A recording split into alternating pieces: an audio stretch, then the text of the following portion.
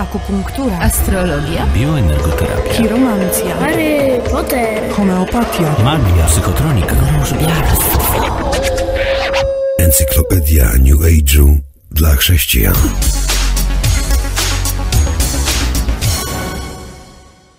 Witam Państwa serdecznie, drodzy Państwo. Ta dzisiejsza audycja będzie poświęcona bioenergoterapii. Mm, Czy bioenergoterapia jest rzeczywiście drogą do uzdrowienia, do zdrowia, jak mówią bioenergoterapeuci, czy też jest najprostszą ze ścieżek wiodącą do zniewolenia duchowego, do problemów takich jak depresje, jak e, mm, problemy z modlitwą, e, zniewolenia duchowe, czy wręcz opętanie. E, za chwileczkę będziecie mogli Państwo posłuchać świadectwa uzdrawiacza. Y, Iza y, dawała to świadectwo na imprezie, która nazywa się Powrót Magii, która ma miejsce w trzeciej niedzielę y, każdego miesiąca akademickiego o godzinie 17 w dobrym miejscu przy Uniwersytecie Kardynała Stefana Kardynała Wyszyńskiego w Warszawie. Posłuchajmy tego świadectwa.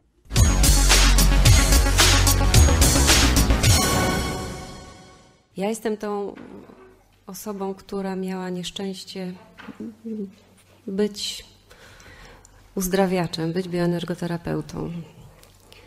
Yy, Chciałabym po, pokazać, jak, jak do tego doszło, jak to się stało, że skądinąd bardzo szlachetna chęć pomagania innym mm, zaprowadziła mnie na takie manowce i to ze szkodą i, i dla moich pacjentów, i dla mnie, i dla mojej rodziny, dla moich dzieci.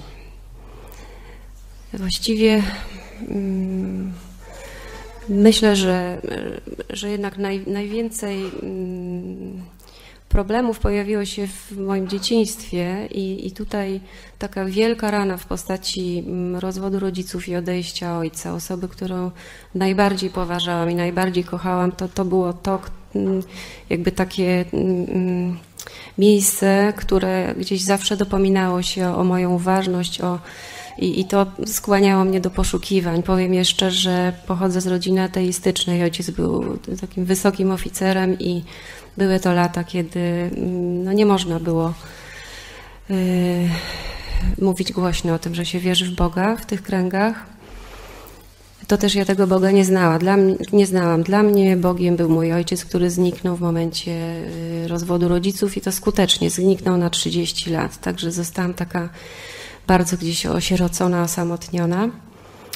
I nazwałabym ten, ten rozdział swojego życia, mm, no, widzę to w takich kategoriach no, no, zdrady ojca. Czyli zostałam taka właśnie porzucona, zdradzona.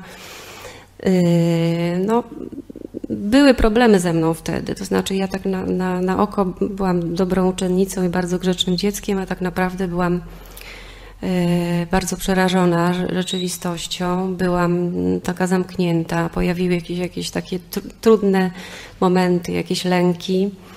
E, Właściwie nie pamiętam dwóch lat z- mojego życia wtedy. Po prostu takie mam wycięte to do tej pory. No ale trzeba było żyć dalej, a ponieważ no, u mnie w domu było w ten sposób, że mm, ważne było mm, to, żebyśmy mm, żyły we, we trzy, y, mama, siostra i ja, uczciwie i najlepiej, żeby było tak jak u ludzi. Więc ja nauczyłam się po prostu y, spełniać jakby oczekiwania mamy i jednocześnie wypełniać jakiś plan życia, który zupełnie nie był moim planem. To znaczy poszłam na studia, zostałam lekarzem, y,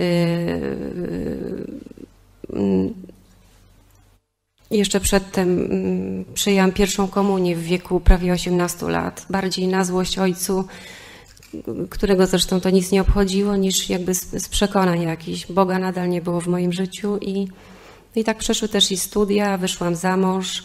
Yy, oczywiście mm, sakrament małżeństwa był dla mnie takim sentymentalnym i tradycyjnym jakimś aktem też zu, zupełnie nie, nie, jakoś to, to moje serce było zamknięte wtedy.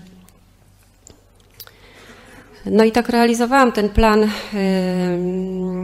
tak powiem, średnią statystyczną, społeczną, czyli urodziłam jedno dziecko, drugie dziecko, poszłam do pracy yy, i wydawało się, że, że wszystko tak jak w miarę się dobrze rozwija, mama była ze mnie zadowolona, natomiast tak naprawdę to to gdzieś tam jakieś, jakaś pustka, jakieś nieszczęście w moim życiu mm, zaczęło się dopominać o uważność. I tak, tak to trwało do momentu rozwodu. Po prostu małżeństwo mm, się nie udało. To, to byliśmy dwojgiem niedojrzałych ludzi, yy, gdzieś tam wzajemne obwinianie się i też i walka na polu zawodowym. Mój mąż też był lekarzem, ja oczywiście na straconej pozycji, bo, bo dzieci, bo obowiązki, jakoś tak kompletnie się oddaliliśmy od siebie i to wszystko, bo coś po prostu rozwaliło. Zostałam z dwójką dzieci sama. I wtedy coś we mnie pękło. To znaczy, coś takiego się stało, że ja mm, no postanowiłam wziąć życie w swoje ręce. Wiedziałam, że już mnie nikt więcej nie oszuka, że ja teraz sama się sobą zaopiekuję i, i ja muszę znaleźć jakiś sposób, jakieś narzędzia, żeby być szczęśliwą, żeby mnie nikt już więcej nie zranił, bo byłam zraniona przez ojca i przez, przez męża. Oczywiście nie było cały czas kościoła w moim życiu, nie było Boga w moim życiu, nie było sakramentów. Grzechy się mnożyły. No, no po prostu gdzieś tam no, żyłam w takiej codzienności, w takiej rzeczywistości, praca, dom, dzieci.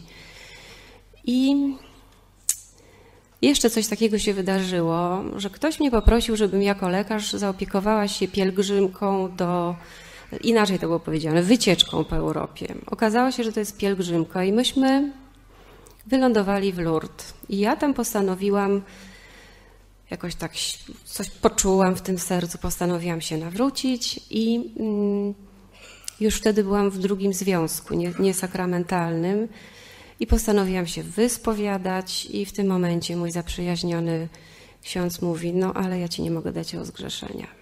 Panu Bogu się nie podoba to, że, że tak żyjesz w grzechu. I ja się wtedy na Boga bardzo obraziłam, ponieważ nie mogłam zrozumieć, jak to jest, że, że jemu się nie podoba to, że ja chcę być szczęśliwa i że ja gdzieś staram się od nowa to swoje życie poskładać z kawałków krwi i to szczęście sobie jakoś wywalczyć. No i wtedy już zostałam taka zupełnie sama, zbuntowana w wieku 30 paru lat, czyli już, już trochę lat miałam. Yy, I wtedy zaczęłam poszukiwać jakby innych możliwości yy, i, i narzędzi i jakiegoś takiego no, surrogatu szczęścia, również duchowego. Zaczęły mi wpadać same w ręce jakieś książki, o, o, innych duchowościach, jacy, jacyś ludzie się pojawili, którzy mieli mi coś do zaoferowania. I potem nagle y, ktoś podpowiedział, że jest doskonały taki kurs, nazywa się metoda Silwy i to powoduje, że człowiek właśnie no, poprzez zmiany pozytywne w swoim myśleniu, przez programowanie swojego umysłu pozytywnie na sukces we wszelkich dziedzinach życia, może po prostu to szczęście sobie wypracować. I ja rzeczywiście postanowiłam pójść na ten kurs. Mm, mało tego, poszedł też mój mąż i moje dzieci, y, bo, bo, wszyscy mieli być szczęśliwi. Ja po prostu wzięłam to życie w swoje ręce, również życie swoich najbliższych. No i, i cóż się stało? No, okazało się, że rzeczywiście no, fantastyczne wyniki, bo, bo y, osiągnęłam taki jakiś stan. Y, y, głębokiego relaksu, jakiegoś takiego zadowolenia z siebie. Rzeczywiście zaczęłam pisać jakieś afirmacje. Cuda się działy. Po dwóch tygodniach pisania afirmacji chodziło mi wtedy o zmianę pracy. Ktoś do mnie zadzwonił, zaproponował mi dokładnie taką pracę, jaką chciałam mm, wtedy mm, podjąć w szpitalu, w takim porządnym oddziale. No po prostu to mnie utwierdziło, że to jest bardzo dobra droga i że trzeba szukać dalej.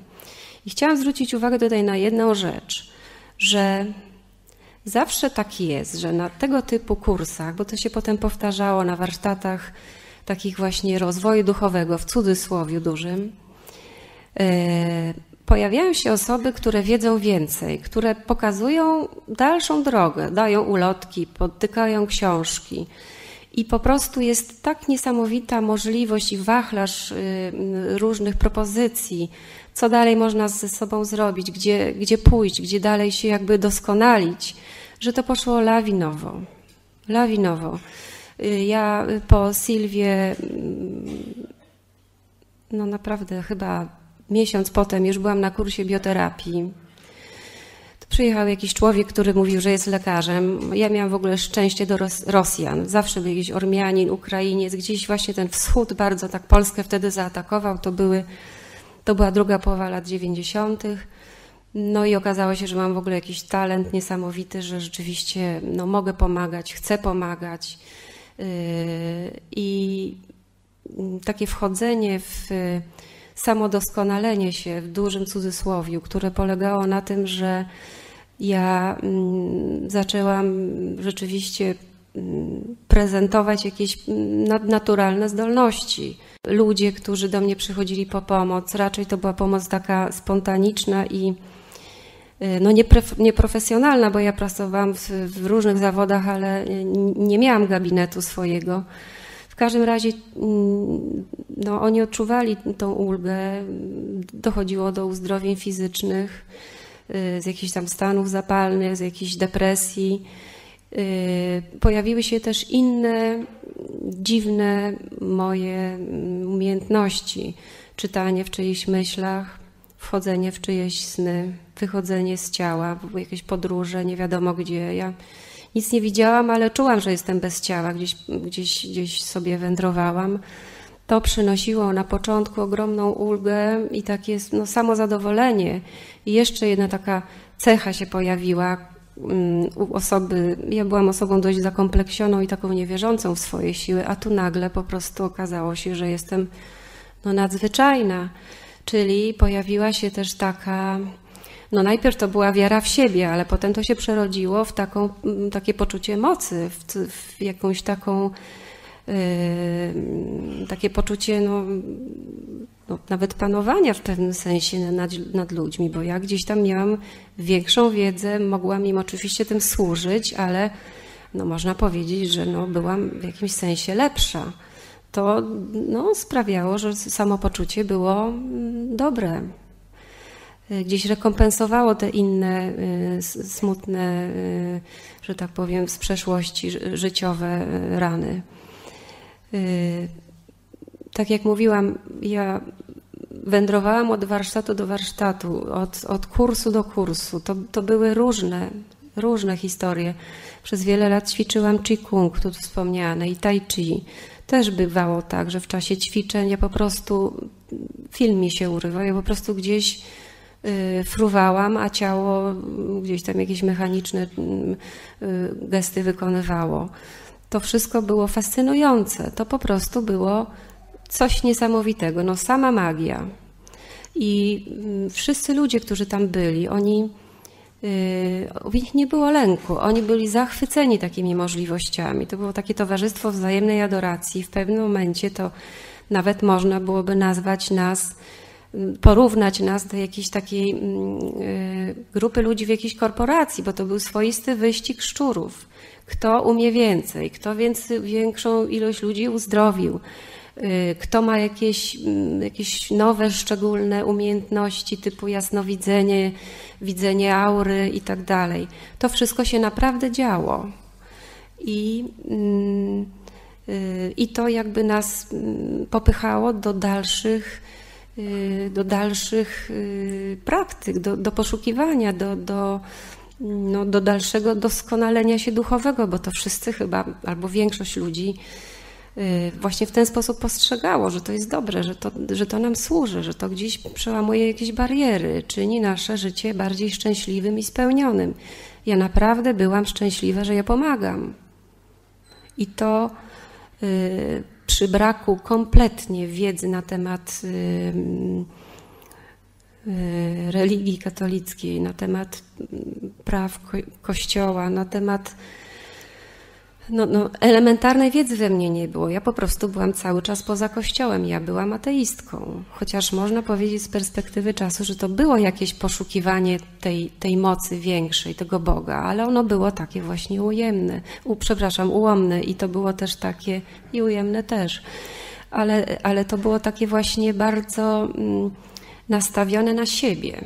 No i, i ten egoizm tam się rzeczywiście pojawiał ale jednocześnie, y, no tak jak mówię, warsztatów było co niemiara. Ja już nawet nie, no, na pewno była jakaś demonologia, biała magia, jakieś y, techniki wschodu różne, masaże.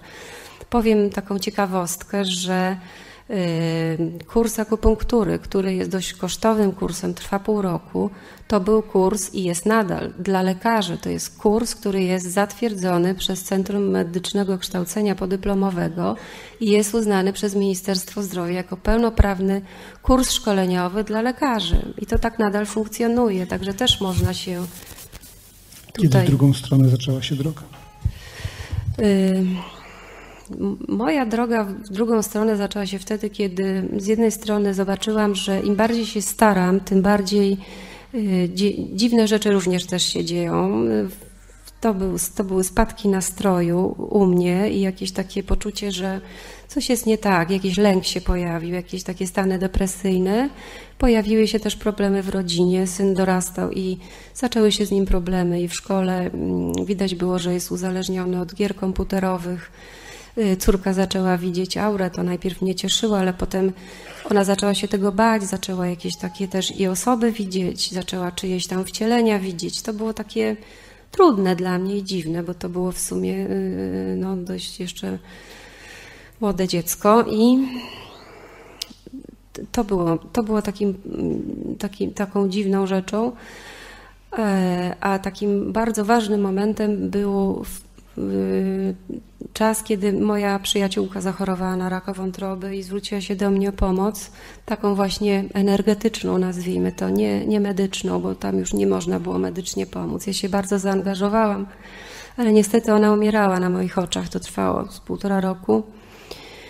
I pewnego dnia, kiedy ja akurat wyjeżdżałam na paroletni pobyt za granicą z mężem i z dziećmi, ona już była na łożu śmierci i, i wtedy powiedziała coś takiego dziwnego, co mnie wprawiło w osłupienie. Ona powiedziała, wiesz, był mnie ksiądz z Panem Jezusem. I jakoś tak do mnie przebiła się ta informacja, że, że Pan Jezus jest osobą i że on, że on jest, że ksiądz był z kimś u mojej koleżanki. I powiedziała jeszcze jedną rzecz, która była taka no, absurdalna, ale ja ją przyjęłam, bo w końcu to była umierająca osoba. Zgodziłam się na to, że ona mnie umówi na, na rozmowę do tego księdza. No i rzeczywiście ta rozmowa się odbyła i, i okazało się, że no, ta moja droga jest kompletnie błędna. Yy, Ale to do mnie jeszcze tak do końca nie dotarło. Potem jeszcze był taki, taki, ja dostałam rozgrzeszenie wtedy, ja mogłam przystępować do komunii. To było dla mnie zupełnie nowe zjawisko, które potraktowałam dość powierzchownie wtedy.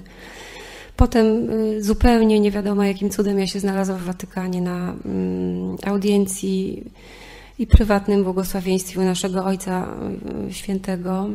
Było to bardzo mocne przeżycie. Ja straciłam przytomność wtedy w trakcie tego spotkania, tego błogosławieństwa. Nawróciłam się natychmiast, ale to było bardzo powierzchowne nawrócenie. Yy, Przeszło mi szybko, yy, bo nie mogłam zrozumieć i uwierzyć w to, że nie ma reinkarnacji. Ja nie mogłam mentalnie tego po prostu pojąć, że, że, że człowiek żyje tylko raz. I ja się zbuntowałam i ponownie, ponownie yy, jakby wróciłam do swoich medytacji, do podróży jakichś dziwnych i, i do takiego życia ezoterycznego, powiedziałabym. Ale wtedy to już było co innego. Wtedy skończyły się przyjemności, wtedy się zaczęła ostra jazda w dół. To były depresje, to były lęki, to były mm, dziwne stany, z którymi sobie nie mogłam poradzić. Trwałam w zawieszeniu chyba ze trzy lata. Nikt się nie zorientował, ja też. Y, Doszło do drugiego nawrócenia, y, kiedy, kiedy postanowiłam pójść na całość, otworzyć gabinet, bo już nie wiedziałam, co ze sobą zrobić. Gabinet medycyny naturalnej i poprosiłam księdza mm, o poświęcenie tego gabinetu. A miałam, miałam szczęście niesamowite, bo to był ksiądz charyzmatyk, który powiedział mi: Proszę pani, stoi pani nad przepaścią. Musi pani wybrać w tej chwili, na co się pani decyduje.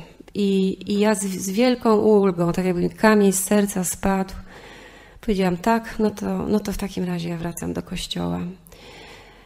Y, To, to też nie było tak, że ja pokochałam Pana Boga i w ogóle wszystko wiedziałam. Ja nic nie wiedziałam. Ja się po prostu tak przestraszyłam i wiedziałam, że już nie mam gdzie uciec, że już wszystkie moje pomysły na życie zawiodły, więc no po prostu ja musiałam wrócić do tego kościoła i wróciłam. Zaczęłam się go uczyć, bo ja nigdy w kościele nie byłam. Zaczęłam się uczyć pieśni kościelnych, byłam w scholi. Różne rzeczy dziwne robiłam, ale to też na zasadzie takiej, żeby jak najszybciej zapomnieć o tym, co się działo. I, yy, I to właściwie trwa do tej pory, że ja robię jakieś takie małe kroczki w kierunku miłości Pana Boga. W ogóle nie mogę uwierzyć w to, że mnie taką kocha, jaką, jaką byłam, z tą moją naiwnością i takim no, łatwością wchodzenia w różne niebezpieczne mm, dziedziny życia.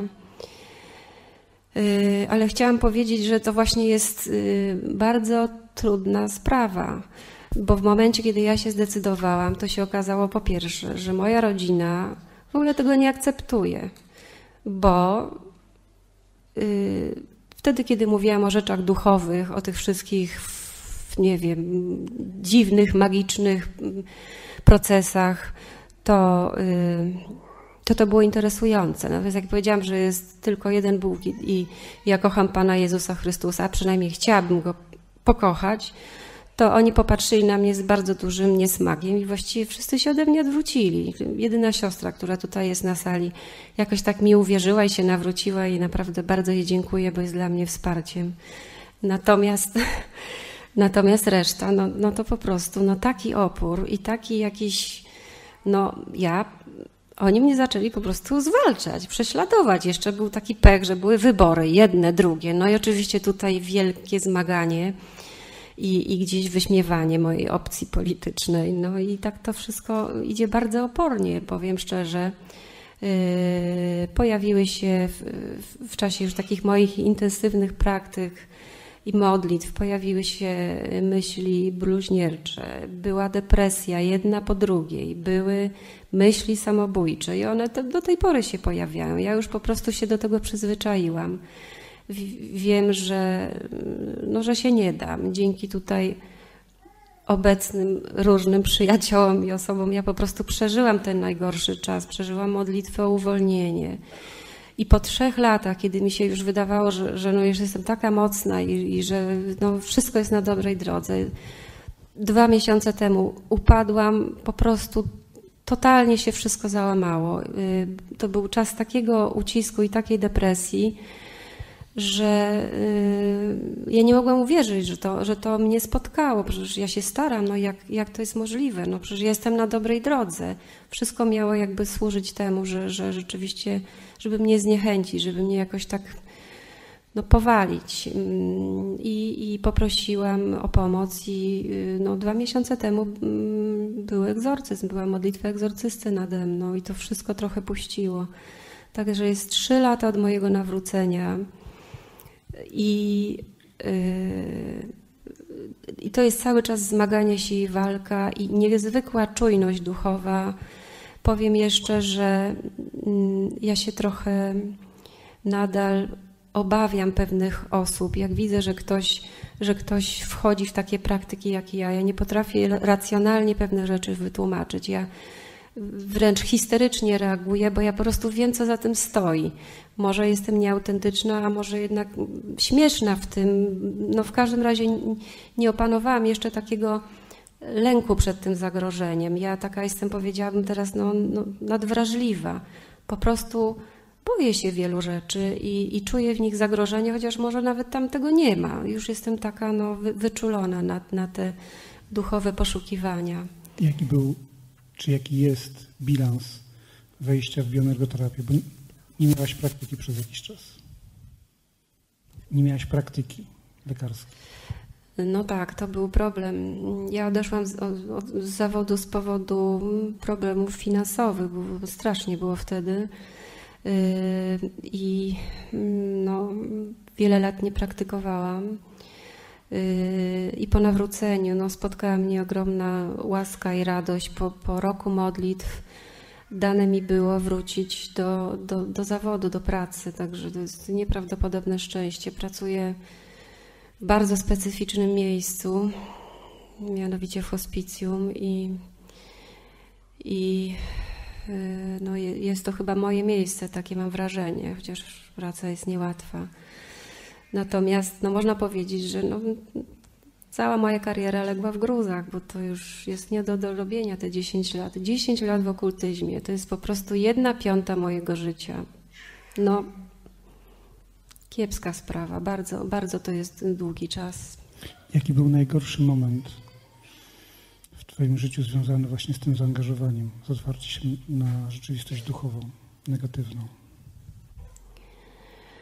To było takie właśnie mm, największy dół w depresji, takie, takie stanie pod ścianą y, bez y, sił do życia. To, to było po prostu leżenie w łóżku przez całe dnie i, i jakieś takie wołanie w środku, ja nawet nie wiem jakimi słowami. To naprawdę było bardzo, bardzo trudne i do tego jeszcze właśnie problemy rodzinne, czyli tak najbardziej to syn do tej pory jest osobą taką nieprzejednaną i moim zdaniem nadal y, uzależniony jest od, od gier komputerowych. Bardzo to jest smutny dla mnie temat, ale tak to chyba trzeba widzieć w tych kategoriach. Czy miałaś poczucie jakiejś obecności w sobie?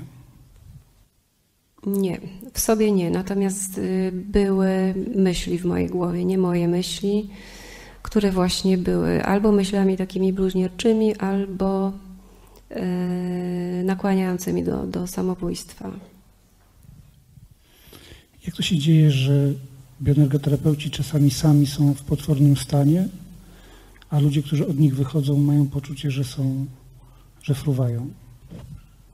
No to jest dobre pytanie. Ja mam wrażenie, że, że bioenergoterapeuta, ja też tak czułam, w pewnym momencie wie, że to nie on, nie on pracuje z pacjentem, że to nie on stoi y, za tym aktem uzdrowienia czy, czy pomagania. Y, zresztą moi w sumie no, nie, nieliczni pacjenci, bo mówię, że pracowałam jako kto inny w innym zawodzie wtedy, ale y, oni mnie pytali czasami, a skąd to, skąd to się w tobie bierze, w pani bierze? Ja mówię, ja nie wiem. Ja mam nadzieję, że to jest dobre, to co się dzieje. To mogłam tyle powiedzieć szczerze, ale no strasznie naiwnie i, i tak jak teraz na to patrzę, no to, to no głupio mi z tego powodu, że, że to tak Kim jest ten się ktoś, działo. kto za tym uzdrowieniem stoi? No nie ma wątpliwości, że to są złe duchy. Nie ma wątpliwości. Jak myślisz, co dzieje się z ludźmi, którym jako bioenergoterapeutka pomagałaś? Czy potrafisz już o tym myśleć? Tak, bardzo, bardzo mnie to, powiem szczerze, męczy. Wiem o trzech osobach, z których jedna jest w sekcie numerologicznej. Jedna jest, yy, uwierzyła w moc yy, aniołów, przewodników czy coś takiego. Channeling. Tak. y, I jedna osoba y, stosuje y, homeopatię i nie, absolutnie jest impregnowana na to, co ja w tej chwili mówię, na moje świadectwo. Ona po prostu mi nie wierzy. Zresztą wszystkim osobom, z którymi miałam kontakt, ja to świadectwo powiedziałam, ale oni są pozamykani. Także wiem o trzech osobach, za które się gorąco modlę, bo, bo tego pot, potrzebują i, i zerwały ze mną kontakty. A reszta mam nadzieję, że, że jakoś zapomnieli o tym, co się, co się działo. No.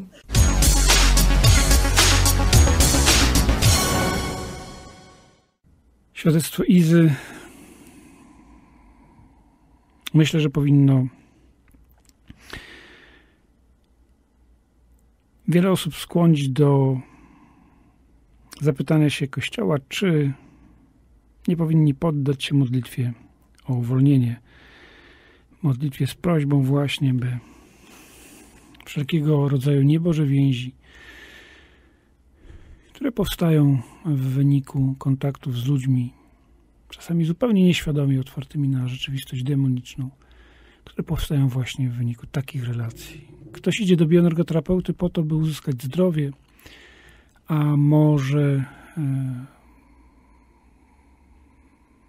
sprawić, że jego życie będzie wyglądało bardzo fatalnie, że relacje w jego mm, rodzinie, czy też w ogóle jakiekolwiek relacje, w które wchodzi, e, będą się rozbijały, że będzie cierpiał na depresję, że będzie cierpiał na problemy mm, tak zwanego pecha, czyli dużą ilość sytuacji negatywnych, no statystycznie nieprawdopodobną w życiu jednego człowieka. A takie są właśnie konsekwencje otwarcia się na rzeczywistość duchową zła. Bioenergoterapia, drodzy Państwo, nie tylko ma ten kontekst duchowy. Profesor Pawlicki opowiedział mi o mm, sytuacji takiej, która jest bardzo charakterystyczna dla osób wierzących w medycynę konwencjonalną. Przyjmuje młodą dziewczynę, młoda dziewczyna jest z matką, okazuje się, że choroba ma terapię, 85% osób poddających się chemii mm, zdrowieje. Matka mówi, absolutnie nie ma mowy. Dziewczyna jest piękna, ma wspaniałe rude włosy. Matka mówi, nie, my poszukamy łatwiejszych dróg do uzdrowienia. Zabiera dziewczynę, profesor wybiega jeszcze za nimi na parking, próbuje przekonywać matkę, że to jest wielka, e, to wiele, to 85% to jest właściwie bardzo, bardzo wiele.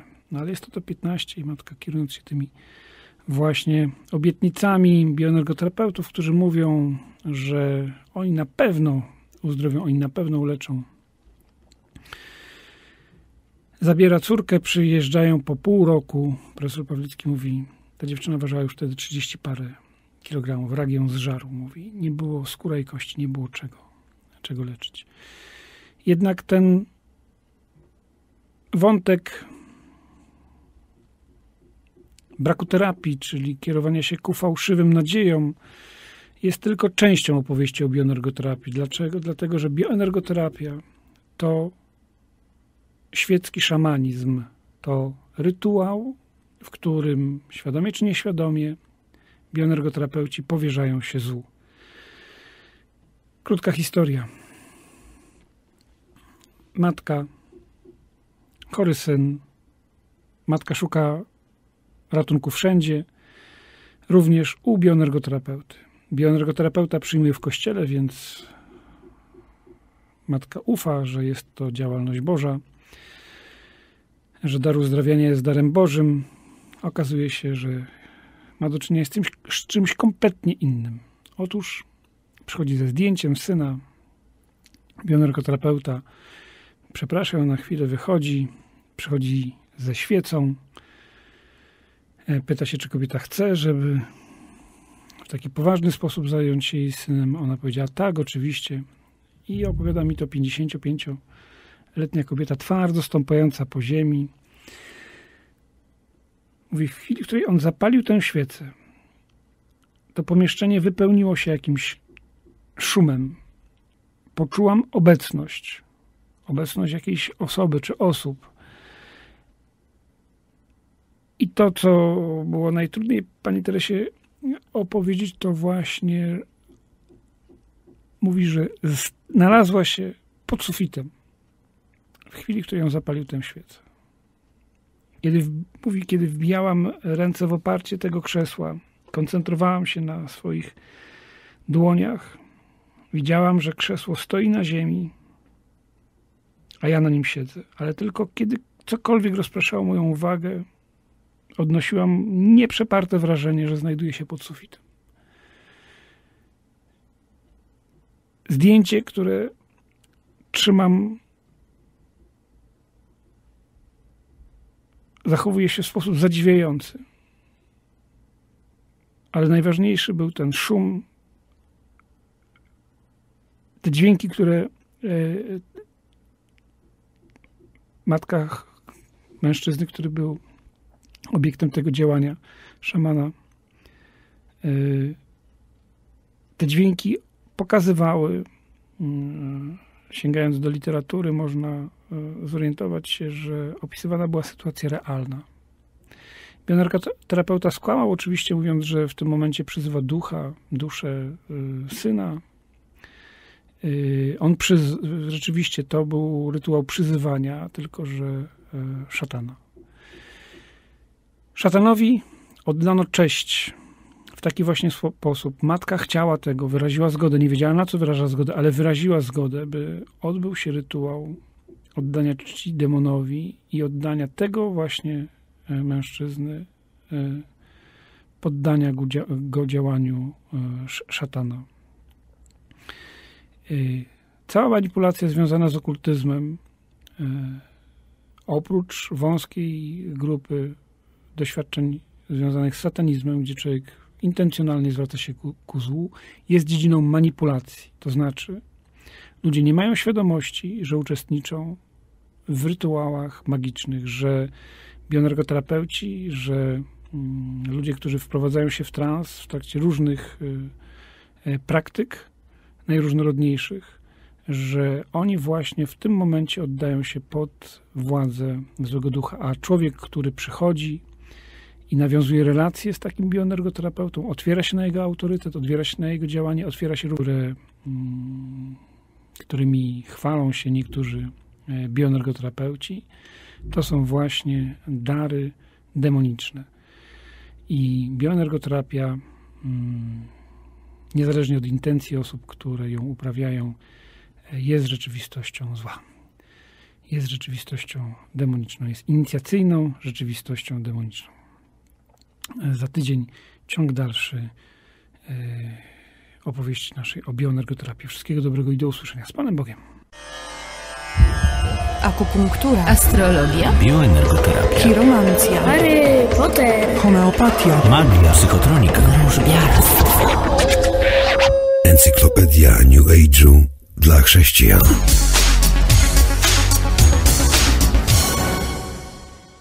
Mój tata też był wojskowym. Stopniu wysokim. No i z racji tego miałam też mały reżim w domu, a raczej duży. Tylko, że ja byłam w tej szczęśliwszej sytuacji, że mieszkałam przez miedzę z kościołem i miałam bardzo wierzących dziadków, którzy przez całe życie, jak ja to mówiłam, klepali różaniec na kolanach, na dole, pod nami mieszkali. I to pewnie mi życie uratowało, jak się potem okaże. No i tak było, że no ciężkie dzieciństwo, a ja mam silny charakter, buntowałam się bardzo na to wszystko, co mnie spotykało. E, Do kościoła chodziłam, bo musiałam, bo mnie zmuszali dziadkowie. Kościół w Babicach to był konkretnie. Mm, To był taki kościół, do którego była rewia mody, e, tam było dużo badylarzy w okolicy. To był taki dla mnie kościół dosyć e, bez Pana Boga, jakby to powiedzieć, jak ja na to patrzyłam. No i tak się zaczęło, że w wieku 17 lat poznałam Amerykanów, korespondując sobie niewinnie po angielsku, poznałam pastora. Yy, I w bardzo krótkim czasie się tak stało, że zmieniłam wyznanie. W wieku 17 lat bodajże, wyjechawszy z nimi na obóz letni, miałam ćwiczyć angielski, a wróciłam jako baptystka. No i potem w miarę szybko, bo w czasie matury poznałam mojego męża, który był 10 lat ode mnie starszy. No I zaczęliśmy się spotykać.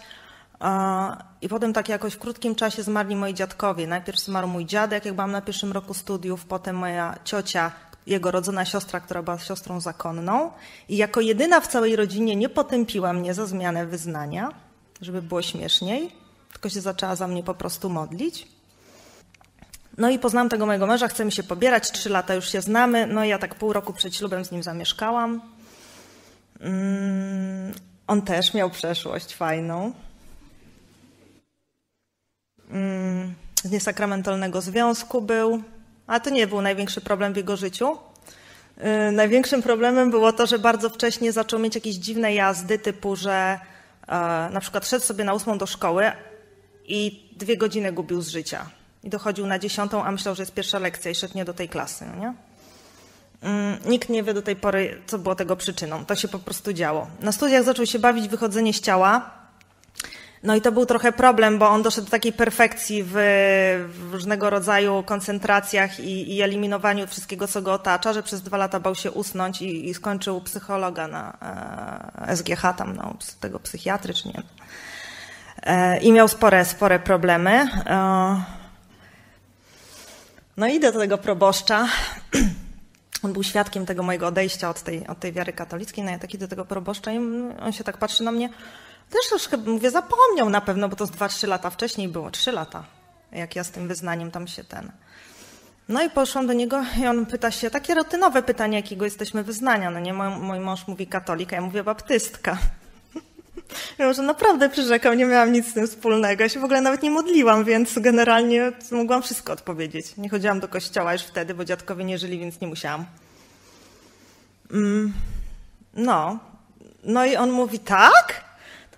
No to nie będzie ślubu w kościele. Ja mówię, jak to nie będzie ślubu? Przecież są małżeństwa mieszane. Ale ty jesteś przechrzta. No to po prostu był sztylet w moje serce. Ja myślałam, że ja z krzesła spadnę. Tak sobie zaraz pomyślałam, kurde, czemu ja nie powiedziałam, że jestem katoliczka? No bym miała z głowy. Tak się na minę po prostu wejść, to jest szok.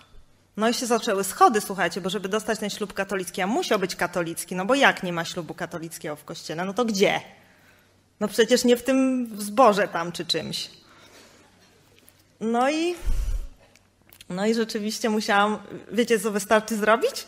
Żeby wrócić do kościoła katolickiego? No pierdołę normalnie wystarczy zrobić, słuchajcie, powiedzieć wierzę w Boga. Ale to nie jest takie proste. Ja płakałam i mówiłam. Po prostu ryczałam tam, że ja muszę to mówić, że jestem tak upokorzona, że po prostu jakby ktoś, nie wiem, butem do ziemi przycisnął. Jeszcze musiałam się podpisać pod tym, co powiedziałam. No i wzięłam ten ślub. A, jeszcze spowiedź przedślubna była super. Przez miesiąc biegaliśmy po kościołach, bo nie wiedzieliśmy, gdzie pójść, jakiego księdza namierzyć, żeby nas nie objechał, no nie? No i tak szukaliśmy, szukaliśmy chyba z miesiąc tego księdza, w końcu na starówkę pojechaliśmy do akademickiego. Mówię, jacyś tam może więksi luzacy będą. No nie fart, no młody to nie znaczy luzak. Przejechał mnie totalnie, mojego męża też zresztą. Więc od tamtej pory, 9 lat potem już nie byłam u spowiedzi. Do nawrócenia. No i tak sobie zaczęliśmy żyć bez Pana Boga razem. No i mieszkaliśmy sobie z małym dzieckiem w domku. Mieliśmy już wtedy domek. No i to dziecko nasze się urodziło tam e, z dwa lata po ślubie i sobie tak mieszkamy, mieszkamy. I w sumie jest fajnie, naprawdę, bo, bo właśnie moja mama odkryła bioenergoterapię. Pierwszy kontakt to był w ogóle dla mnie jakiś taki szok, bo to nie był typowy bioenergoterapeuta, jakich ja później trafiałam, tylko to, był, to nie był taki kołchoz, nie? Że, że trzy minutówki takie za 100 zł za trzy minuty, tylko to, był taki, to były takie seanse grupowe, czyli się siadało w kółeczku, normalnie jak w hipnozie wszyscy na takich leżankach. Za ręce się trzymali, no on coś tam chrzanił po, trochę po polsku, trochę po rusku. Ja tak nawet nie pamiętam dokładnie, co to było, bo ja to, dla, dla, mnie to był w ogóle jakiś szok, gdzie ja jestem, co to w ogóle ma być. Przecież ja nie jestem nawet chora, nie? To po co ja tam poszłam? No ale tak, pojawiła się na rynku pismo wróżka. Kurczę, no po prostu prenumerowałam namiętnie. Czytałam od dechy do dechy po pięć razy, no po prostu no ekstra rzecz. I tak naprawdę chyba od tego się zaczęło to wszystko, bo to się tak poprzylepiało do mnie. Ja e, wchodziła jak w masełko, ja byłam na wszystkich targach ezoterycznych, ja miałam po prostu tony u siebie, nie wiem, dzwoneczków, piramidek, no nie wiem, wszystkiego, co na tych targach można kupić i co, co fajnie w domu wygląda, oczywiście tam coś robi. E, znajomi mi, ponieważ znali moje zainteresowania, to zaczęli mi w prezencie przynosić jakieś, jakieś smoki, buddy, mimo że ja nie miałam nigdy wahnięć w jakieś wschodnie klimaty, tylko tak jakoś im się to, zobaczcie, kojarzyło samo, nie? Jakoś tak to, nie wiem, dziwne jest. No w każdym razie e, w zasadzie z, takim, z takimi czystymi formami okultyzmu, e, oprócz bioenergoterapii, wróżek, różnych pochrzanionych uzdrowicieli, którzy mieli tak niesamowite techniki dochodzenia, kto na co jest chory, za pomocą wahadełek, właśnie widzenia, nie wiadomo czego. Nawet miałam przyjaciółkę, bioenergoterapeutkę, która przyjeżdżała do nas i, i nawet mojemu mężowi próbowała wmawiać, że właśnie jest niesamowity. Jemu nie tylko ona, i na akupunkturze mu wmawiali, bo my chodziliśmy wszędzie potem już. Potem to już była masówka, bo się oczywiście problemy ze zdrowiem zaczęły. Nie ma tak. Nie było, ale się zaczęły więc, więc potem już biegaliśmy sobie masowo mm, gdzie tam tylko, a żeby finansowo nas było stać, więc nawet sponsorowaliśmy też niektórym znajomym pewne przyjemności duchowe. Też mam na sumieniu niestety parę osób, ale właśnie się za nich modlę, no już nic innego mi nie zostaje w tym momencie.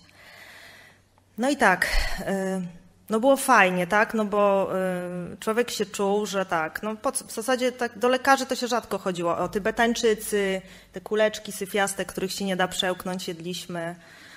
Y, oczywiście to nic nie dawało, bo wiadomo, wszyscy wiedzieli, że mój mąż ma chorobę wrzodową i nic mu nigdy z tych rzeczy nie pomagało, tylko losek, tak, to jest taka, ta, takie lekarstwo. Y, I tylko mu to zawsze pomagało i do tej pory bierze, no. Bo jak widać, żaden mak ani inny świr nie uzdrowił z tego. Mm, Natomiast y, problem się tak naprawdę zaczął wtedy, jak, e, jak się dzieci pojawiły, tak? No bo człowiek po sobie to tak wszystko zniesie, wszystko sobie wytłumaczy, ale jak dziecko cierpi, no to już, to już wtedy jest poważnie, bo to dwa razy bardziej boli albo dziesięć razy bardziej. No i moja córeczka, biedna, pierworodna, mówię biedna, bo młodszy już, już miał lepiej trochę, już była inna świadomość, więc moja córeczka się urodziła. mm, no i w domu już mieliśmy wtedy, wtedy wszystkie możliwe kontakty właśnie z tymi, z tymi uzdrowicielami, były wszystkie te przedmioty w domu i tak dalej. I ona tak mniej więcej jak skończyła 3 lata, to już było meritum tych naszych wszystkich, e, wszystkich znajomości, kontaktów, zaczęła nam chorować. Przez 3 lata co dwa miesiące brała antybiotyk. I tak naprawdę to były ciągłe, ciągłe stany ropne wszystkiego uszu, zatok, nie wiem, tam różne e, i to w sumie były takie choroby, no można powiedzieć, nie ciężkie, tak? No bo wysiękowe zapalenie ucha czy coś takiego, ale na tyle ciężkie, że musiała ten antybiotyk brać. Ona przestała rosnąć. E, oczywiście e, straciłam kupę pieniędzy na, na prowadzenie po tych wszystkich gabinetach. I nawet był je- jedno czary mary przeżyłam na swoje oczy, zobaczyłam, że to działa, bo, bo e, dostała oczywiście w święta wielkanocne, a teraz mi się skojarzyło, że to nie przypadek. Dostała takiego ropnego zapalenia spojówek, że na oczy nie widziała. Po prostu ropa żółta leciała jak, jak, łzy, jak łzy z oczu. Wielkanoc, nie? No i pojechaliśmy, bo oczywiście było otwarte tam u tego Leo Szacha, pod Centrum Onkologii przyjmuje w ogóle. Oczywiście nie zamykają do niego. Trzy minuty, stówę. No i pojechaliśmy do niego i on takiej, e, takiej zrobił tak. I już mówi, już jest zdrowa, nie? Znaczy ja się tak patrzę, widzę, że niezbyt jest zdrowa. No jeszcze, jeszcze byłam w ciąży, więc mnie jeszcze podo- podotykał niestety. No i wsiadam z nią do samochodu, z mężem. Ona tak mówi, mama, mama, daj mi chusteczkę do oczu, bo mi strasznie, strasznie oczy pieką. No my się tak odwracamy, a ta ropa w jej oczu normalnie jest tak spieniona, jakby ją tak y, do jajek tam y, trzepaczką roz... No po prostu piana na oczach. No, po prostu w takim szoku. Ona te oczy wytarła, słuchajcie, śladu nie ma. Zdrowa. No to i to było, i to jeszcze powiem, że to było to czary mary na mm, drugiej wizycie, no nie? Bo, bo potem jeszcze było chyba z 20 tych wizyt. Ponad. Oczywiście już one nic nie dały. Ja miałam wszystkie obietnice, że nie trzeba będzie jej operacji robić, bo ona miała te migdały powiększone już tak, że, że, że już chrapała w nocy, że miała była niedotleniona i tak dalej, że nie będzie operacja potrzebna, że wszystko będzie super i tak dalej. Ja się bardzo ucieszyłam, wydałam kupę kasy, ale w końcu straciłam cierpliwość, bo znaczy w ogóle jeszcze miałam bardzo jedno bardzo ważne ostrzeżenie, którego też nie przyjęłam oczywiście. E, bo na jednej z wizyt, ja już byłam w takiej zaawansowanej ciąży, już miałam spory brzuch, początek ósmego miesiąca, ja pojechałam z nią sama. No i po wizycie dostała od lekarza, od tego, od tego bioenergoterapeuty taki, taki duży cuki, znaczy cukierek z Zozola, czy coś takiego, pamiętam to było. Ja ją zapięłam w fotelik, wsadziłam do tyłu do samochodu, zapalam samochód, słyszę, że moje dziecko się dusi. Ja się odwróciłam, to ona już była czerwona. Ja się nie mogłam z nerwów z tych pasów wypiąć, zanim się z tym brzuchem wytelepałam z tego snazami i ją wypięłam z tego fotelika, to myślałam, że ona już nie żyje. No było straszne, ja się cała trzęsłam, myślałam, że ja tam urodzę po prostu i ją tam do góry nogami tam walę po tych plecach. Ja miałam super siłę normalnie, taką siłę, taka adrenalina, że to szok. No i wypluła tego cukierka. Na tyle to było silne przeżycie dla niej, że przez miesiąc potem nam nie chciała nic jeść. Miała lęk przed łykaniem. Miała wtedy 5 lat. I no mi to kompletnie nic nie dało do pomyślenia. Jak świadectwo u Roberta składałam w Radiu Józef, to dopiero mi to przyszło do głowy, że to było kolejne ostrzeżenie, którego ja nie dopuściłam do siebie. Mm, Potem jeszcze przez rok różne, znaczy ja przestałam do niego w końcu chodzić, bo i tak musiałam jej operację zrobić, wycięcia tych migdałów, zresztą nie jedną, a a dwie. Miała dreny w uszy założone i tak dalej. Ale kiedy zaczęło się tak naprawdę z jej zdrowiem prostować, dopiero wtedy, jak zaczęłam szukać pomocy no, tam, gdzie trzeba. I co się dzieje? Rodzi się nam drugie dziecko. Jeszcze w międzyczasie tutaj mi Czarny podsyła wspólniczkę Jasnowickę, z którą firmę otwieram. Jeszcze się pamiętam, Roberta pytałam, Robert, co ja mam zrobić? Już jak tak się poznaliśmy, czy ja mam z nią tą firmę prowadzić, czy, czy ja mam z nią zerwać tą ten? A co mi wtedy odpowiedział? Już nie pamiętam, co mi. Ale nic nie dał mi odpowiedzi konkretnej, tak? Ale Pan Bóg to szybko rozwiązał. Zaszła w ciążę i sama zrezygnowała po miesiącu. No i się jej na szczęście pozbyłam w sensie takim, że, że rzeczywiście no, ona, ona mocno wdepnęła w te sprawy. I, i, i, I kiedyś, jak byłam świadkiem, jak komuś coś przepowiadała, jak po prostu przewróciła oczami, to aż mi ciarki na plecach wystąpiły, ale oczywiście ja tego nie widziałam. Zauważyłam, ale nie przyjęłam do świadomości swojej. Mm, dopiero jak mały się urodził i miał 10 miesięcy, miał być chrzczony. Dwa tygodnie przed chrztem trafia do szpitala z powikłaniami po anginie. Powikłania wyglądały tak, że moje dziecko miało opryszczkę, którą normalnie ma się w jednym miejscu, a on miał tą opryszczkę chyba ze 100, 100 tych opryszczek w całej jamie ustnej, wewnątrz i na zewnątrz. Po prostu przestał przyjmować płyny, już nic do ust nie, nie można było dotknąć i wylądowałam z nim w szpitalu. Strasznie cierpiał, to po prostu koszmarne. Jak mu już tam pomogli w tym szpitalu, już miało być ok, już mieliśmy wychodzić, dostał jeszcze rotawirusa i to mi po prostu już, już nie chcę nic mówić. Miałam go chrzcić już tym, e, w tym szpitalu, bo zadzwoniła do mnie nasza opiekunka, która przez nas mieszkała z nami, która przez nas odeszła od kościoła bardzo i zadzwoniła do mnie do tego szpitala, mówi proszę mm, pani Julito, pani po prostu go ochrzci w tym szpitalu, bo on jest bezbronny. Ja tak myślę, no słuchajcie, no tak magicznie jak to Robert mówi, myślałam, nie? Czary mary, ochrzcze będzie cacy. No mówię, no, no i załatwiłam tam rzeczywiście, mówię, mówię tak sobie, kurczę, no jak do jutra mu nie przejdzie, to ja go ochrzczę w tym szpitalu. Już tam z, z chrzestnymi porozmawiałam i tak dalej, a za dwa tygodnie miał być chrzczony z wielką pompą w ogóle.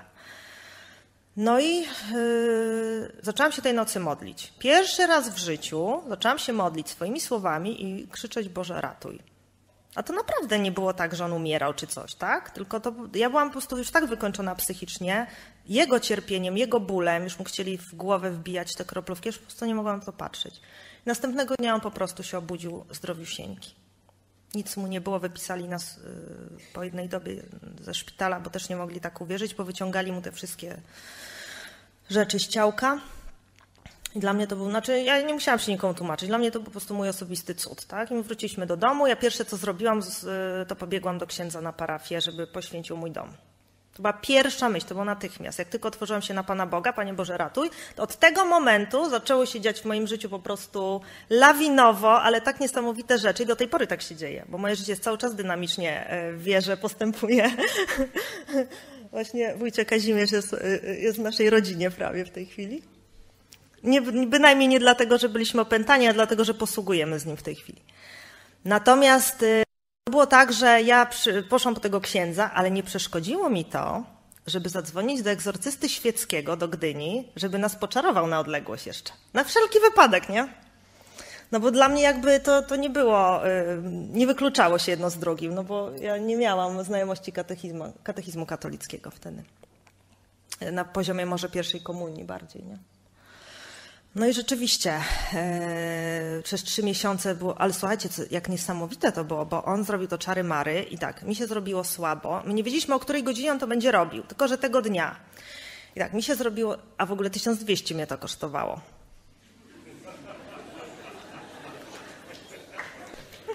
No i on tak, tak, mi się zrobiło słabo. Nasza opiekunka w ogóle poleciała po ciśnieniu, bo ona mówi, pani, bo ona miała nadciśnienie, no nie? Myślała, że ma 200 ale mierzy normalne. Mój mąż przyjeżdża z pracy, bo on to w ogóle nie wiedział, że tego dnia będzie czary mary. Mój mąż miał stany depresyjne ciężko, ale w tej, często, ale właśnie wtedy e, pamiętam, że w ogóle mi do wróżki też nie pozwolił chodzić. Raz go kiedyś zaciągnęłam do wróżki, bo on kurczę taką lepszą intuicję duchową jak ja. Mimo, że wyłaził z tego ciała, to jeszcze gdzieś tam ten Pan Bóg bliżej mu do ucha szeptał niż mi. Bo tak mi zawsze mówił, nie chodź do tych wróżek, nie chodź do tych wróżek. Ja mówię, ale to chodź ze mną raz. On mówi, no dobra, to pójdę, żeby ci powiedzieć, że to jest głupota, no nie? Ale on nie mówił, że to jest, że, że, że, że, mm, że to jest naciąganie, że ten, tylko że on jakby przeczuwał, że to jest, że jakiś lęk miał do tego, tak? Żebym ja tego nie dotykała. A ja te taroty to uwielbiałam po prostu. I na początku to pamiętam, jak mi koleżanki ostrzegały, że tylko choć raz na rok, nie częściej. A ja mówię, dlaczego nie? Chyba po to, żeby zapomnieć, co mówiła rok wcześniej. Teraz tak sobie wykombinowałam. No ale potem oczywiście zaczęłam chodzić częściej, bo to wciąga do różnych, nawet do takiej jednej chodziłam, co pana Nowaka, bioenergoterapeuta, obsługiwała, bo się chwaliła tym. E, ale to było śmieszne, bo jak mój mąż poszedł i wyszliśmy z tego spotkania, on cały czas ją tak świdrował wzrokiem, nie? Ona była taka nerwowa, ona w ogóle miała takiego zeza, że ciężko jej było w oczy spojrzeć.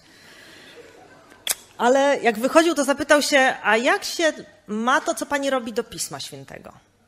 Słuchajcie, takie joby na niego poleciały z oczu. Ja tego nie zapomnę. Jakby mogła, to go zabija tym wzrokiem. I mówi do niego tak. Każdy robi w życiu to, do czego jest powołany. Aha. No dobrze. No to poszliśmy sobie. Znaczy jej mi na wszystko powiedziała, ona nie musiała nic mówić generalnie. Oczywiście ja tego nie przyjęłam wtedy. A takie rzeczy się nie widzi, naprawdę. I potem em, poszłam do wróżki ostatni raz w moim życiu. E, Już na takim etapie wpadła mi książka pana e, tego e, Posadzkiego, tego no, monologa jezuity. I coś zaczęłam czytać już i zaczęłam mi się powoli oczy otwierać. I zamówiłam sobie nawet, pamiętam wtedy taki modlitewnik, w którym były jakieś egzorcyzmy, bo ja gdzieś zawsze, wierzyłam w duchy. Zresztą my mieliśmy w duchy, no dlatego mieliśmy duchy w domu. Mój mąż widział jakieś ciemne sylwetki, które czasami w niego wchodziły, on gdzieś wpadał w jakąś przepaść. Moje dziecko trzyletnie czarnymi farbami torty kolorowe malowało. Sobie tak nawet kiedyś pomyślałam, że pomyślą, że ja, ja jej maltretuję jakoś w tym przedszkolu, jak ona tak na czarno będzie malować. Jakaś wyrodna matka, czy jacyś zboczeńcy, czy coś. No a przecież dziecko po prostu wypieszczone, wykochane, takie wydmuchane, bo to przecież jedynaczka do piątego roku życia, no więc jak? No, a tu czarne farby, koszmary senne w nocy, ciągle chora. Yy, mimo, że grzecznym była dzieckiem, nie miała jakichś takich histerycznych, jak mój potem syn. Zresztą nie wiedziałam dlaczego, ale się potem okazało. No i rzeczywiście poszłam do tej wróżki z takim już nastawieniem, że kurczę, yy, yy, że ją sprawdzę, czy ona powie to, co mówiła wcześniej, nie? Czyli już z takim niedowierzaniem.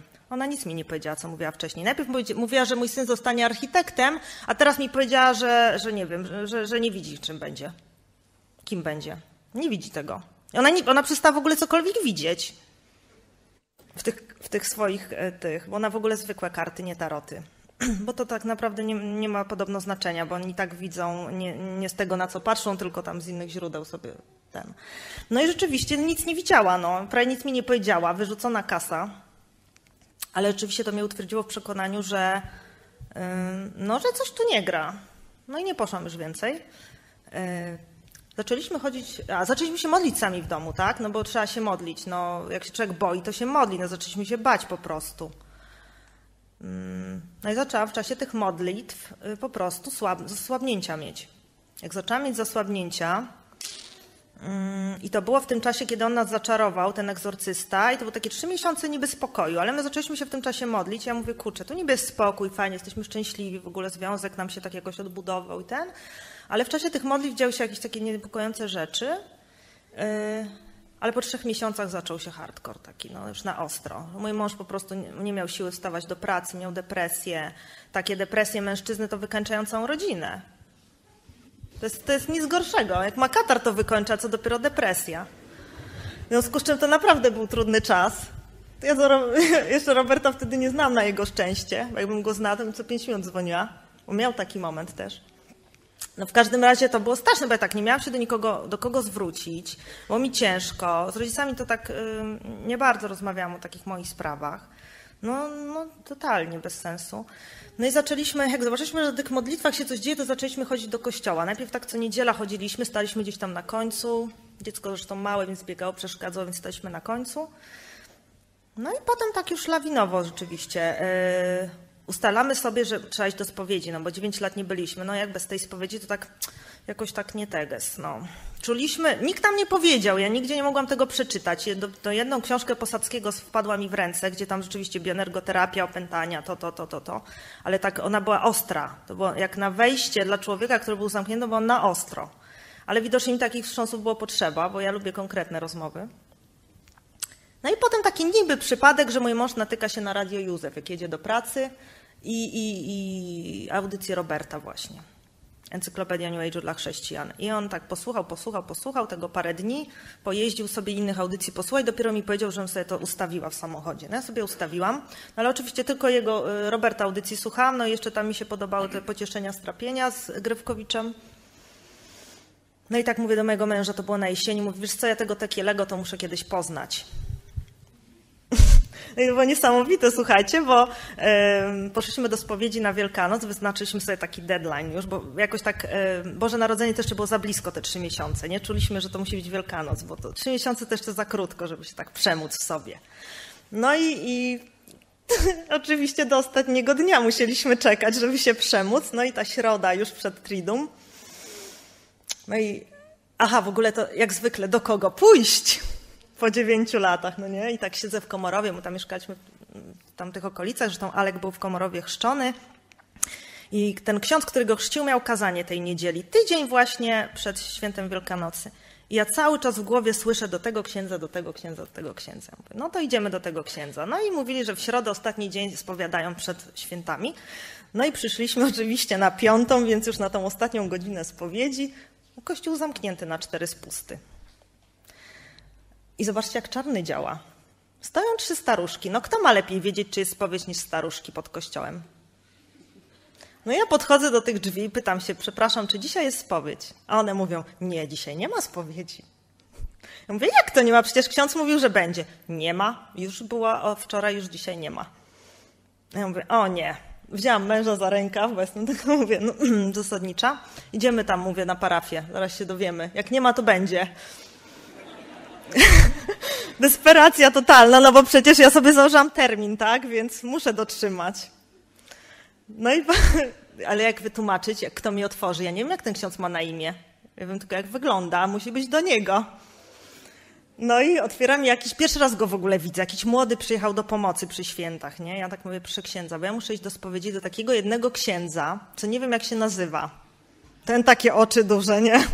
No taki, taki, taki koło czterdziestki, coś tam uklaruje, jak on wygląda. No i patrzę, a wychodzi, wychyla się ten ksiądz Andrzej, tak za winkla, zapina sobie mankiet i tak mówi, a ja mówię, jak dobrze, że jak księdza widzę, bo my do księdza, no nie? A on mówi, a co, a, a co się dzieje? Ja mówię, no bo musimy iść do spowiedzi. A on mówi, to przyjdźcie 15 minut przed mszą. Ja mówię, słucham? Nie, proszę księdza, my nie byliśmy 9 lat, to 15 minut to nie wystarczy. No dobrze, to już idę. No i szybko się tam pośpieszył, otworzył ten kościół, wyspowiadał nas. Ja to specjalnie tak opowiadam, bo to naprawdę było trudne. Spowiedź po tylu latach to jest taki trud, że to się w głowie nie mieści, ale była niesamowita, bo ten ksiądz słowa nie powiedział, oprócz rozgrzeszenia. Przez całą spowiedź. I to na ten moment było dla mnie dobre, tak? Bo ja z siebie wszystko zwaliłam, takie te, te wszystkie okultystyczne, co się doczytałam na razie, bo jeszcze połowy nie wiedziałam, że są złe.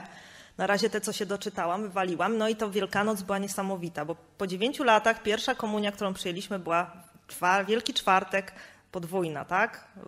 Chleb z winem, ciało z krwią. I to było dla nas niesamowite, bo to, to był taki wstrząs duchowy. No i zaraz chwila po świętach wielkanocnych jest yy, targi wydawnictw katolickich. No i pan Takieli ma mieć wykład. I nawet pan Posadzki. No to po prostu wszystko rzuciliśmy jak w dym na ten wykład. Tam na, do świętego Bonifacego chyba ta ulica jest tam. No i pojechaliśmy, ale dzieci tak dawały czadu, że mąż z nimi wyszedł. Znaczy, nie sam wykład był najważniejszy, bo ja to wszystko już na pamięć znałam, co oni mówili, bo ja już wszystko prze, przewertowałam. Natomiast ja chciałam ich poznać. No i mm, po, po wykładzie oczywiście wszyscy się rzucili na Roberta, nie było opcji się dobić.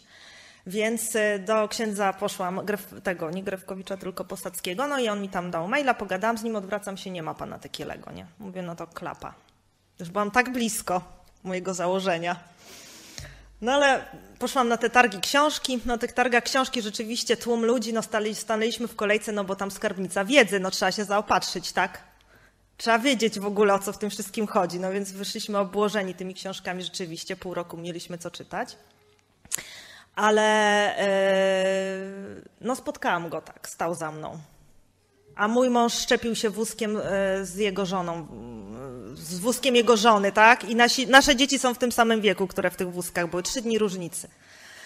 Więc oni się szarpali z wózkami, a ja Tekielego za rękę mówię, chodź, mówię, mówię panie Robercie, super, że, że, że pana spotkałam, musimy się poznać i w ogóle. No i tak to było.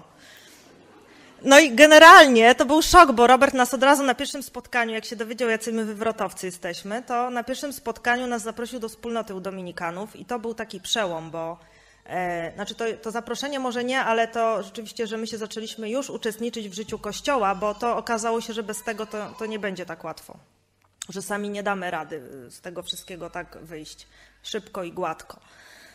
Mm nie wywoływaliśmy duchów, nie było żadnych takich inicjacji, nie było Sylwii, Rejki, chociaż mojego męża wszyscy wypychali. Matko, słuchajcie, no to po prostu tłumy ludzi go namawiali, że on taki po prostu ma dotyk i w ogóle.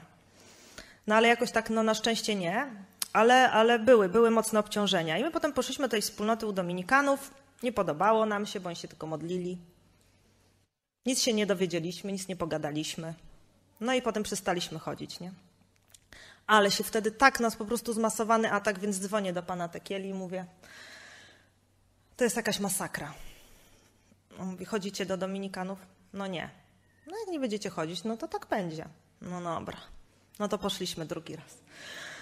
No, no, no już drugi raz było lepiej, bo już ktoś się do nas odezwał w ogóle, nie? Coś tam się, tego poznaliśmy, tego poznaliśmy, tu jakiś były bioenergoterapeuta, tu jakaś była wróżka czy coś tam, nie? Już tam w klubie się czuliśmy, bo to tacy age'owcy generalnie wszystko. No więc już się zrobiło raźniej. No tam się pomodliliśmy, pomodliliśmy. No i potem rzeczywiście zaczęliśmy chodzić. No teraz są naszą po prostu rodziną ci ludzie, rodziną do, do, dosłownie, bo były takie momenty. Bo tam taki Janek niepełnosprawny był, który ja z nim wisiałam na telefonie codziennie przez nie wiem ile, parę godzin. Po prostu myślałam, że go nie wytrzymam. Po prostu to, co, tego rąbania takiego z każdej strony, wszystko się waliło. W pracy, w domu, w zdrowiu. y, Wszystko szło nie tak. To było po prostu y, straszne. E, No i Robert zawsze mi powtarzał, cierpliwie, cierpliwie, sinusoida będzie się wypłaszczać. To były święte słowa. Rzeczywiście tak jest, że się wypłaszcza. Potem tylko dookoła nas, u wielu się innych spiętrza wszystko, no ale cóż zrobić, modlitwa czyni cuda. No i rzeczywiście tak było, że mm, chodziliśmy do tej wspólnoty systematycznie, no i nasze kochane msze o uzdrowieniu, uwolnieniu u Dominikanów raz w miesiącu polecam, naprawdę, bo to nam bardzo dużo dało. E, No i po roku e, od na, takiego pierwszych, pierwszych momentów nawrócenia trafiamy do e, księdza egzorcysty Grewkowicza. E, Mój mąż tam nic nie czuje. No modlitwa jak modlitwa, kompletnie bez, beznamiętnie. Natomiast ja czułam żelazko na łbie po prostu.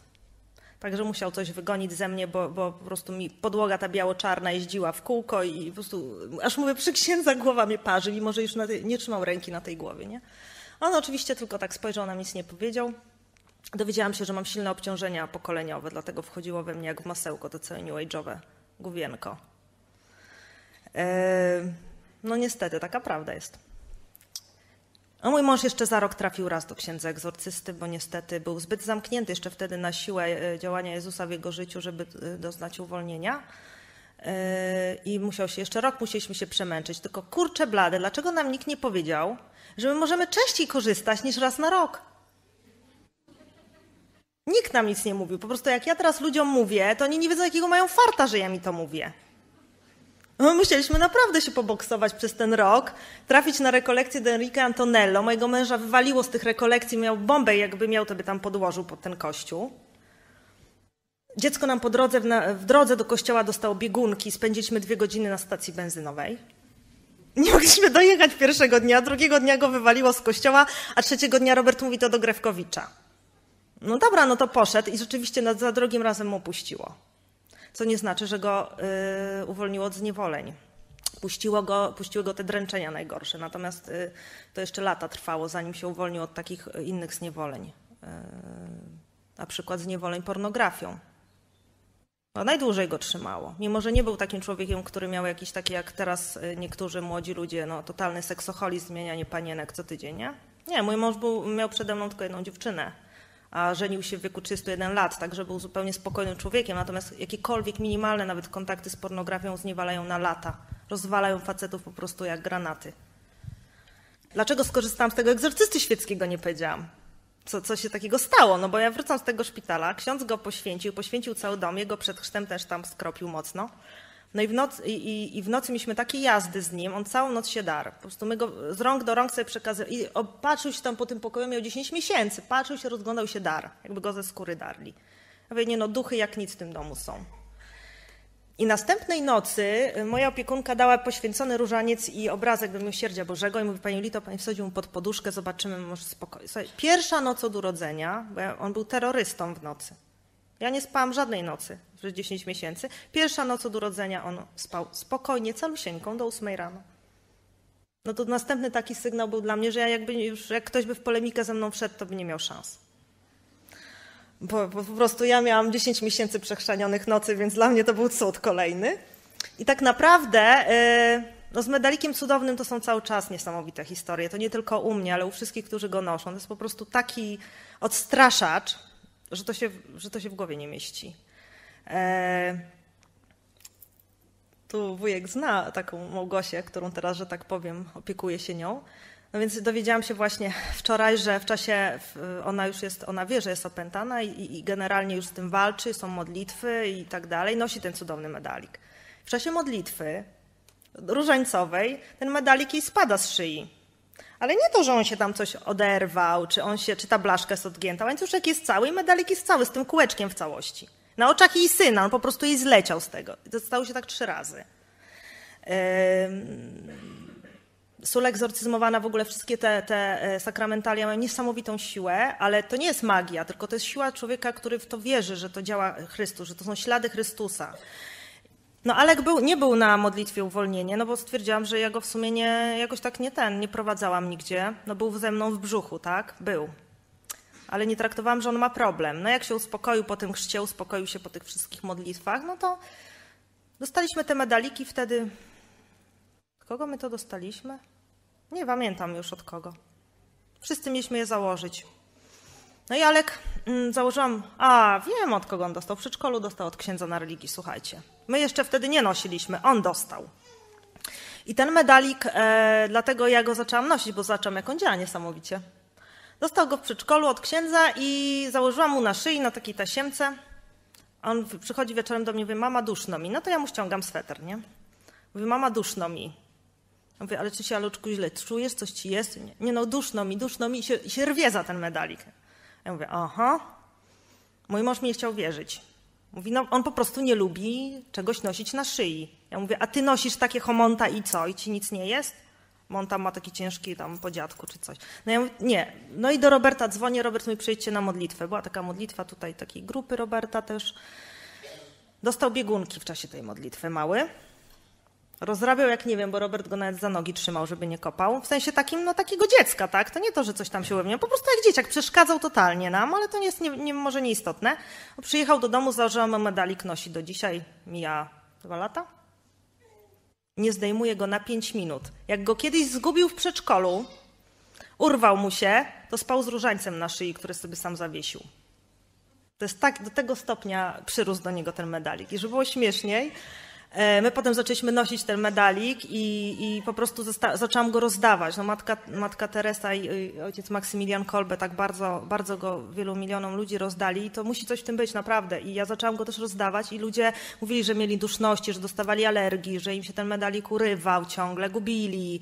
No po prostu naprawdę coś niesamowitego. I oczywiście to musi być połączone z modlitwą. To nie jest znowu tak, że to jest kawałek blaszki, która działa cuda, tylko to jest jakby z modlitwą. Wierzę, że ten medalik przez moc Matki Bożej mnie chroni. Szatan nienawidzi Maryi. I teraz ja zaczynam e, w tym kościele tak, mm, a to spotykam coraz więcej osób, które mnie gdzieś tam wprowadzają właśnie, a to poznaję przez totalny przypadek jedną, drugą, dziesiątą, dwudziestą osobę i, i dzieje się niesamowicie. Jest w obronie życia i w temacie zagrożeń duchowych. I ojca Kazimierza poznaję przez taką obrończynię życia właśnie. Także naprawdę Pan Bóg y, w tej chwili nas tak y, jakoś y, poustawiał, że my już całkowicie, ja się śmieję, że moja praca jest w ogóle przykrywką do tego, co ja tak naprawdę robię. Ponieważ moja pracownia stylizacji tak naprawdę od pół roku nie funkcjonuje bez kryzys. Mam jeszcze drugą firmę, która, która coś tam no, na koszty zarabia, a ja siedzę w tej pracy i tak cały czas nagrywam płyty, które rozdaję. Mam całą szufladę medalików, kto przychodzi, to dostaje i generalnie cały czas tam robię wszystko, co no, Pan Bóg, mam nadzieję, się cieszy, że ja to staram się jakoś